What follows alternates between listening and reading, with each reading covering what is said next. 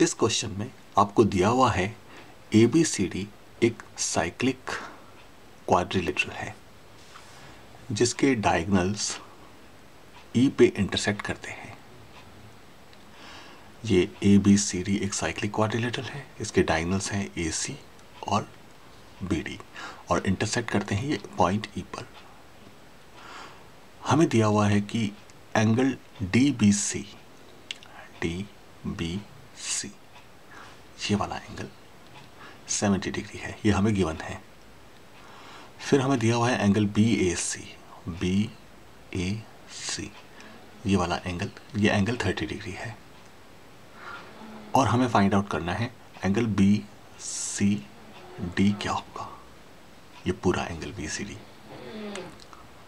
सबसे पहले तो हम देखते हैं कि जो 30 डिग्री जो हमें गिवन है बी एस सी ये अगर एक साइक्लिक क्वाड्रिलेटरल है तो हम इमेजिन कर सकते हैं कि यहाँ से इन चारों वर्टेसेस से एक सर्कल पास होता होगा। क्योंकि ये साइक्लिक क्वाड्रिलेटरल है तो ये चारों वर्टेक्स वर्टेसेस किसी सर्कल पे लाई करते होंगे। तो हम ये कह सकते हैं कि ये जो एंगल बी ए सी है और एंगल बी डी सी है, दोनों सेम सेगमेंट पर है। सेम आर्क बी सी पे होंगे सेम सेगमेंट पे है। तो इसका मतलब जो एंगल बी डी सी है, वो भी थर्टी डिग्री ही होगा। ठीक है? Angles in the same segment of a circle are equal इस थ्योरम का यूज़ करके दोनों एंगल्स 30 डिग्री होंगे। चलिए, ये 30 डिग्री हो गया। अब हम देखते हैं triangle B D C triangle B D C में हमें ये दिया हुआ है कि ये 70 डिग्री है। ये 30 डिग्री हमने अभी अभी पता लगाया है। तो अब तीसरा एंगल हो गया angle B C D angle sum property से हम कह सकते हैं कि इन तीनों एंगल्स का सम 180 डिग्री होगा।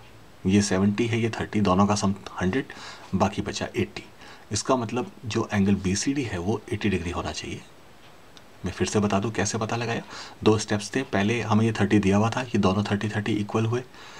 ठीक है? क्योंकि सेम सेगमेंट पर एंगल्स हैं और फिर एंगल सम प्रॉपर्टी लगा के कि मैंने 80 डिग्री फाइंड आउट किया। सॉल्यूशन देख सकते हैं। उसके बाद हमें एक कंडीशन और दी हुई है कि अगर A B equal to B C हो जाए, ये देखिए ए बी और बी सी हो जाए, तब इस केस में एंगल ए सी डी क्या होगा? A B is equal to B C हम फिगर में देखते हैं ए बी ये है, ये साइड और बी सी ये साइड है। हालाँकि डायग्राम्स में डायग्राम में आपको इक्वल नहीं दिखाई दे रही है, लेकिन ये कहते हैं कि अगर इक्वल हो जाए इन केस ठीक है अब देखिए, इस ट्रैंगल में अगर ए बी और बी सी दोनों इक्वल हो जाए तो ट्रैंगल ए बी सी एक आइसोसलिस ट्रैंगल बन जाएगा। और दोनों इक्वल साइड्स के ऑपोजिट्स एंगल हैं। देखिए ए बी के ऑपोजिट है, ये वाला angle angle B C A ये ऊपर वाला एंगल यहाँ तक बी सी ए इस ए बी के के ऑपोजिट एंगल और दूसरी इक्वल साइड है बी सी इसके ऑपोजिट एंगल है ये बी ए सी ये दोनों एंगल्स इक्वल है। अब बी ए सी तो हमें दिया हुआ है कि थर्टी डिग्री है। तो ये भी थर्टी होगा, ये वाला part angle B C D पूरा एटी डिग्री है, लेकिन angle B C A thirty degree है। इसका मतलब ये रिमेनिंग पार्ट हुआ fifty degree eighty minus thirty fifty क्योंकि थर्टी प्लस फिफ्टी एट्टी होता है। ठीक है? तो इस तरह से हमने E C D find out किया E C D is fifty degree आप सोल्यूशन चेक कर सकते हैं।